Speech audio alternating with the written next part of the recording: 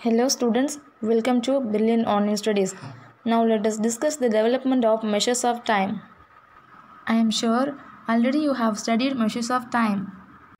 Okay, the procedure of measuring time has undergone several changes from ancient period. Various clocks has been designed and used to measure time from different parts of world like water clock, sundial clock, candle clock, sand clock, rope clock and etc. Have you seen those clocks? Okay students ancient people என்ன மாதிரியான கிளாக்ஸ்லாம் use பண்ணாங்க அப்படின்னு சொல்லிட்டு பார்ப்போம். First வந்துட்டு water clock water கிளாக்கில் டைமை எப்படி calculate பண்ணியிருக்காங்க அப்படின்னா அந்த வாட்டர் வந்து ட்ரான்ஸ்ஃபர் ஆகுது. ட்ராப் ட்ராப்பாக ட்ரான்ஸ்ஃபர் ஆகிற டியூரேஷனை வச்சு தான் டைமை வந்து கால்குலேட் பண்ணியிருக்காங்க. Next one sundial clocks sun clocks எப்படி இருக்குன்னு பாருங்கள் ஒரு பிளேட் மாதிரி இருக்கும். அது மேலே வந்துட்டு டுவெல் வரைக்கும் நம்பர்ஸ் போட்டிருப்பாங்க. ஸோ அதில் சென்டரில் வந்து ஒரு ஸ்டிக் வச்சுருப்பாங்க. அந்த ஸ்டிக் வந்து சன்லைட் படும்போது அதுக்கு ஒரு ஷேடோ கிடைக்கும். ஸோ டைம் ஆகும்போது ஷேடோ வந்து டிஃப்ரெண்ட் சைஸில் காமிக்கும். ஸோ அதை வச்சு தான் டைமை வந்து கால்குலேட் பண்ணியிருக்காங்க. நெக்ஸ்ட் ஒன் பாருங்கள் கேண்டில் கிளாக் இந்த கேண்டில் கிளாக்கில் வந்து ஒரு கேண்டில் ஃபுல்லாக வந்து மெல்ட் ஆகி முடிகிறதுக்கு எவ்வளோ டியூரேஷன் ஆகும் அப்படிங்கிறத கால்குலேட் பண்ணி தான் டைமை மெஷர் பண்ணியிருக்காங்க. Next one sand clock so இது வந்து வாட்டர் கிளாக் மாதிரி தான் வாட்டர் எப்படி ட்ரான்ஸ்ஃபர் ஆகுதோ அதே மாதிரி இங்கே வந்து சேண்ட் கிளாக்கில் சேண்ட் வந்து ட்ரான்ஸ்ஃபர் ஆகிற டியூரேஷனை கால்குலேட் பண்ணி தான் டைம் மெஷர் பண்ணியிருக்காங்க okay now it is we use pendulum clock digital clock quartz clock atomic clock to find the time accurately pendulum கிளாக்கில் பாருங்கள் கிளாக்குக்கு கீழே வந்துட்டு பெண்டுலம் கொடுத்துருக்காங்க அது வந்து மூவ் ஆகும். ஒன் ஹவர் ஃபினிஷ் ஆகும்போது அது மூவ் ஆகும். Next one digital clock A digital clock is a type of clock that displays time digitally. Okay students, next we are going to learn unit of time. Today we are measuring time accurately. The units of time are second, minute, hour, day, week, month, year and etc. Okay first நம்ம டைமை measure பண்ணுறதுக்கு hours minutes seconds இதுக்குள்ளே ரிலேஷன்ஸை பற்றி நல்லா தெரிஞ்சுக்கணும் one hour equal to sixty minutes ஒரு மணி நேரத்துக்கு அறுபது நிமிஷம்.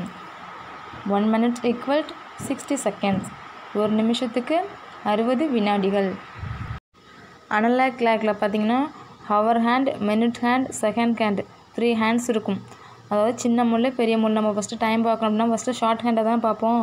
ஷார்ட் ஹேண்டு தான் வந்து டைமு ஸோ சின்ன முள் எங்கே இருக்குன்னு பார்த்துட்டு அதை தான் அந்த நம்பர் தான் ஃபஸ்ட்டு சொல்லுவோம். நெக்ஸ்ட் வந்து லாங் ஹேண்டு அதாவது மினிட்ஸ் ஹேண்டு எந்த நம்பர்கிட்ட இருக்குன்னு பார்ப்போம். ஸோ மினிட்ஸை பார்க்கும்போது நமக்கு என்ன ஞாபகம் வரும்? ஆல்ரெடி ஃபைவ் டேபிள் படிச்சிருப்போம். அதுதான் அந்த டைமில் கிளிக் ஆகும். ஸோ மினிட்ஸ் ஹேண்டு ஒன் கிட்டே இருந்துச்சு அப்படின்னா one five is five minute minute hand four கிட்டே இருந்துச்சு அப்படின்னா four five are twenty minute minute hand eight கிட்டே இருந்துச்சு அப்படின்னா eight five are forty minutes அப்படின்னு நம்ம ஃபைவ் டேபிள் வச்சு தான் மினிட்ஸை கால்குலேட் பண்ணிக்கிறோம்.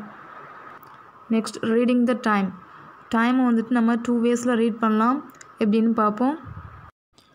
சி திஸ் கிளாக் மினிட்ஸை வந்து நம்ம ஆல்ரெடி எப்படி சொல்லுவோம் ஃபைவ் ஃபைவாக சொல்லுவோம் five minutes ten minutes fifteen twenty twenty five thirty thirty five forty forty five fifty fifty five அந்த மாதிரி நம்ம ஃபைவ் டேபிள்ஸில் தான் மினிட்ஸ் வந்து சொல்லிகிட்ருப்போம் இப்போ வந்துட்டு நம்ம டிஃப்ரெண்ட்டாக சொல்லலாம். எப்படின்னா ஒன்றுட்ட இருந்துச்சு அப்படின்னா லாங் ஹேண்டு ஃபைவ் பாஸ்ட்டு டூட்ட இருந்துச்சு அப்படின்னா டென் பாஸ்ட்டு த்ரீட்ட இருந்துச்சு அப்படின்னா quarter past next twenty past twenty five past half past long hand six கிட்ட இருக்கும்போது நம்ம என்ன சொல்லுவோம்? தேர்ட்டி மினிட்ஸ்னு சொல்லுவோம் இல்லையா? தேர்ட்டி மினிட்ஸ் எப்படி சொல்லலாம்? ஹாஃப் அன் ஹவர்னு சொல்லலாம். ஸோ தேர்ட்டி வந்து ஹாஃப்னு சொல்லும்போது நம்ம இங்கே ஹாஃப் ஃபாஸ்ட்னு சொல்லலாம். லாங் ஹேண்டு டுவெல்லேருந்து சிக்ஸ் வரைக்கும் எந்த இடத்துல இருந்தாலும் நம்ம அந்த மினிட்ஸை சொல்லும்போது அந்த நம்பரை சொல்லி ஃபாஸ்ட் அப்படின்னு சொல்லலாம். அதாவது ஃபைவ் மினிட்ஸ் ஆகிட்டு டென் மினிட்ஸ் ஆகிட்டு ஃபிஃப்டீன் மினிட்ஸ் ஆகிடுச்சு அதாவது முடிஞ்சிடுச்சு ஃபாஸ்ட்னு சொல்லலாம் அதை சொல்லும்போது. ஓகே நெக்ஸ்ட் வந்து லாங் ஹேண்டு சிக்ஸ்லேருந்து டுவெல்லுக்கு நடுவில் இருந்துச்சு அப்படின்னா நம்ம அந்த நம்பருக்குள்ள மினிட்ஸை அப்படியே சொல்லக்கூடாது. ஸோ எக்ஸாம்பிள் இப்போ லாங் ஹேண்ட் வந்து எயிட்டுக்கிட்ட இருக்குது அப்படின்னா அப்போ ஃபார்ட்டி மினிட்ஸ் அப்படின்னு சொல்லக்கூடாது. இல்லை ஃபார்ட்டி மினிட்ஸ் பாஸ்ட் அந்த மாதிரியும் சொல்லக்கூடாது. ஸோ ஃபார்ட்டி மினிட்ஸ்லேருந்து சிக்ஸ்டி மினிட்ஸ் ஃபுல்லாக கம்ப்ளீட் ஆக இன்னும் பேலன்ஸ் எவ்வளோ மினிட்ஸ் இருக்குது அப்படிங்கிறது தான் சொல்லணும் அந்த இடத்துல. ஸோ இப்போ ஃபார்ட்டி மினிட்ஸ் இருக்குன்னா இன்னும் சிக்ஸ்டி ஆகிறதுக்கு டுவெண்ட்டி மினிட்ஸ் இருக்குது ஸோ டுவெண்ட்டி மினிட்ஸ் டூ அப்படின்னு சொல்லணும். ஃபார் எக்ஸாம்பிள் டைம் இப்போ டூ ஃபார்ட்டி ஃபைவ் அப்படின்னு நினச்சிக்கோம். ஸோ அப்போ டூ ஃபார்ட்டி ஃபைவ் அப்படிங்கும்போது லாங் ஹேண்ட் எங்கே இருக்கும்? அதாவது மினிட்ஸ் ஹேண்ட் எங்கே இருக்கும் அப்படின்னா நைன் கிட்டே இருக்கும். டைம் டூ ஃபார்ட்டி ஃபைவை வேறு எப்படி சொல்லலாம்? த்ரீ ஆகிறதுக்கு இன்னும் ஃபிஃப்டீன் மினிட்ஸ் இருக்குது அப்படின்னு சொல்லலாம் இல்லையா? தேர்ட்டி மினிட்ஸை ஹாஃப்னு சொல்லுவோம். ஸோ ஃபிஃப்டீன் மினிட்ஸை குவார்ட்டர்னு சொல்லணும். ஸோ இன்னும் ஃபிஃப்டீன் மினிட்ஸ் இருக்குது அப்படின்னு சொல்கிறத குவார்ட்டர் டூ அப்படின்னு சொல்லணும். ஸோ அதே போல் லாங் ஹேண்டு டென்கிட்ட இருந்துச்சு அப்படின்னா ten five or fifty minutes so அதை நம்ம எப்படியும் சொல்லலாம்னா டென் டூன்னு சொல்லலாம்.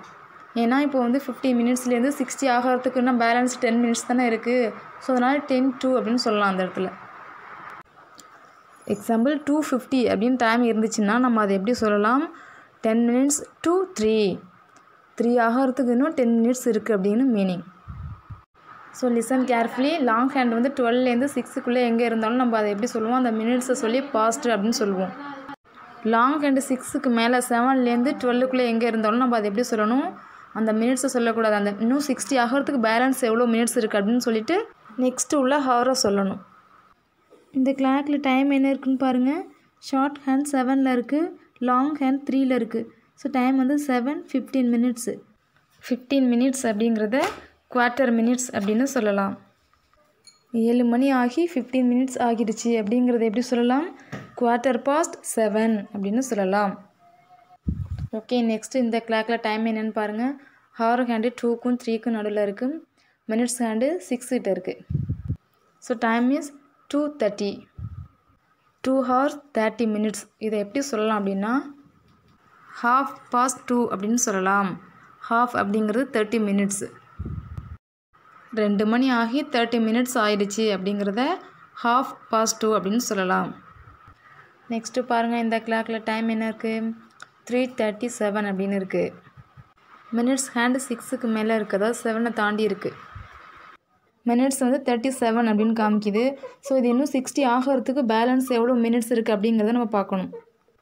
ஸோ சிக்ஸ்டி மினிட்ஸ்லேருந்து தேர்ட்டி செவன் மினிட்ஸை சப்ராக்ட் பண்ணோம் அப்படின்னா இன்னும் பேலன்ஸ் எவ்வளோ மினிட்ஸ் இருக்குது அப்படின்னு நம்ம ஃபைண்ட் அவுட் பண்ணலாம். சிக்ஸ்டியில் தேர்ட்டி செவன் அப்படிங்கிறத சப்ராக்ட் பண்ணோன்னா பேலன்ஸ் டுவெண்ட்டி த்ரீ இருக்குது ஸோ இன்னும் அந்த மினிட்ஸ் ஃபுல்லாக கம்ப்ளீட் ஆகிறதுக்கு இன்னும் பேலன்ஸு டுவெண்ட்டி த்ரீ மினிட்ஸ் இருக்குது okay twenty three minutes completed ஆயிடுச்சு அப்படின்னா நமக்கு டைம் என்ன காமிக்கும்? ஃபோர் ஓ கிளாக் அப்படின்னு காமிக்கும். ஸோ அப்போ நம்ம எப்படி இப்போ டைமை சொல்லலாம்?